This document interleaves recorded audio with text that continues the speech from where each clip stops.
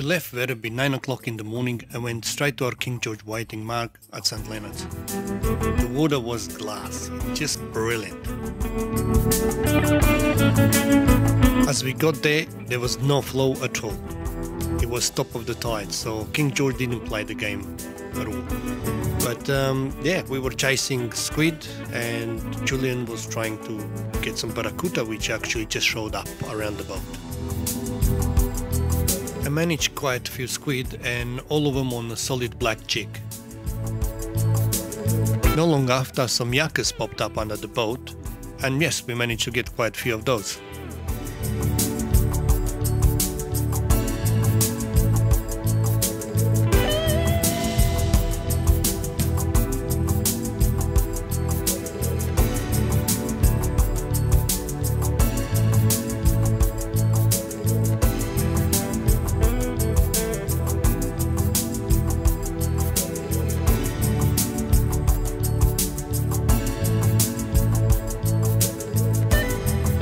In meantime, Julian managed quite a few barracudas on metal slug, but we needed to shift our focus on King George Whiting.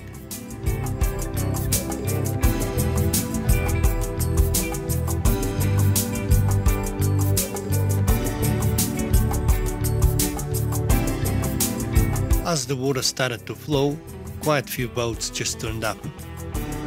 They knew the action was about to start.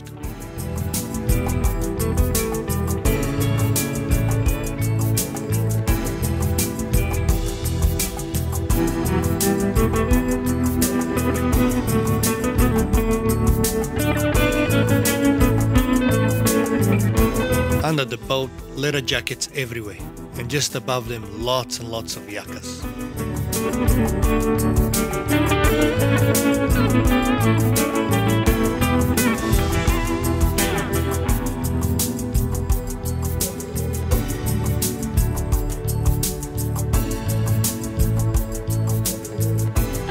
Patience was the key. Lots of people would give up and move somewhere else, but we end up staying in the same spot and just wait. Leather jackets will pinch my bite quite often, but that was part of the game.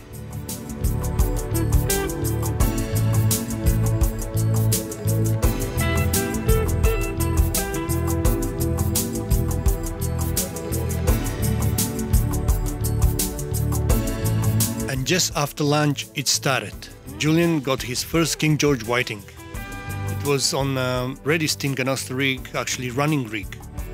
And um, yeah, it was loaded with the pilchard and um, squid cocktail.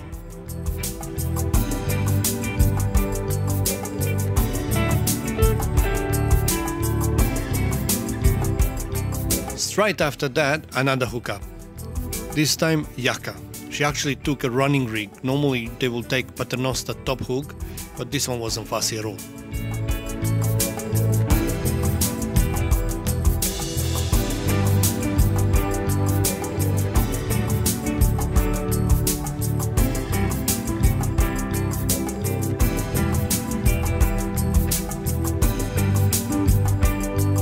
From here on, we got very busy.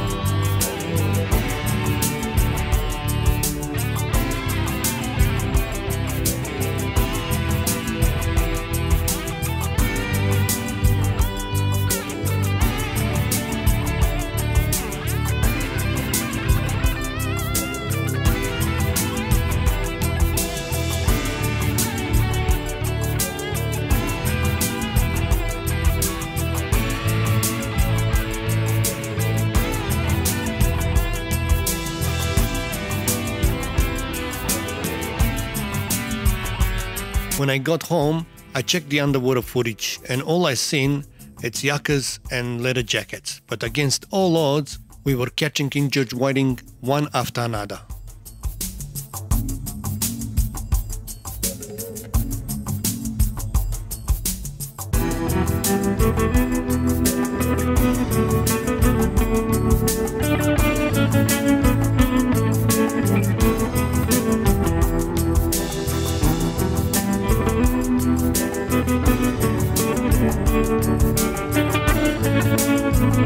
Teamwork was very important. I was cutting the bite and loading all the roads. Julian was just bringing them in. Moss King George Whiting, but some Yakas as well.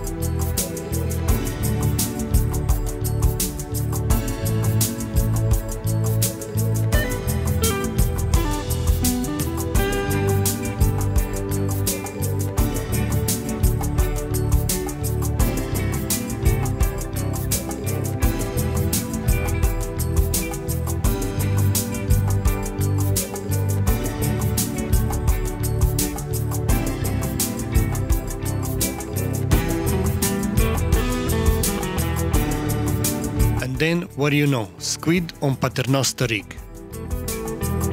It's not common, but it does happen.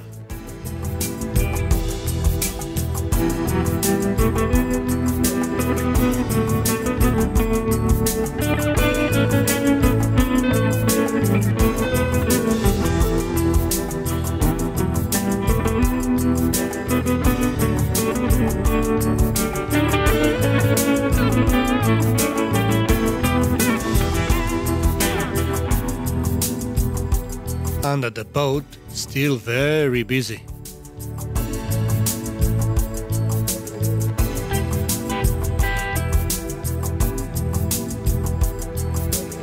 I was getting the burley ready, which is just ship pellets, and then I mix them with tuna oil. I normally just put them in my burley bucket and just drop it just underneath the boat. That was bringing the leather jackets and the yakas right underneath the boat and then we were casting 10 meters, well, 5 to 10 meters away from the boat and getting all the King George whiting. Definitely small fillet of pilchard in combination with a little cube of squid, that cocktail worked the best for us.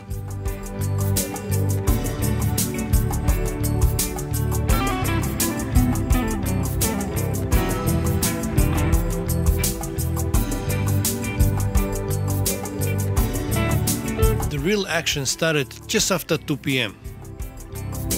At the start, there was plenty fish, but they were only 30 to 32 centimeters, quite small. But they were lots of fun.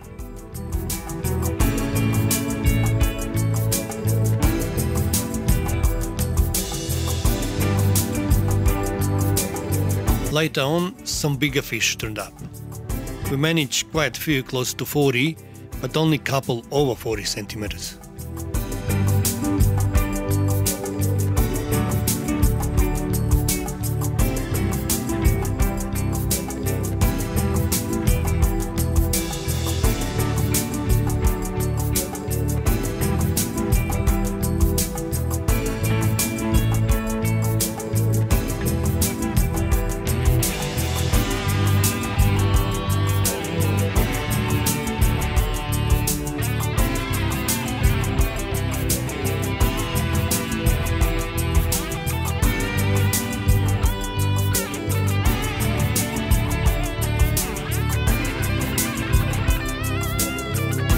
Very quick we managed our bag limit and yes, we left them biting.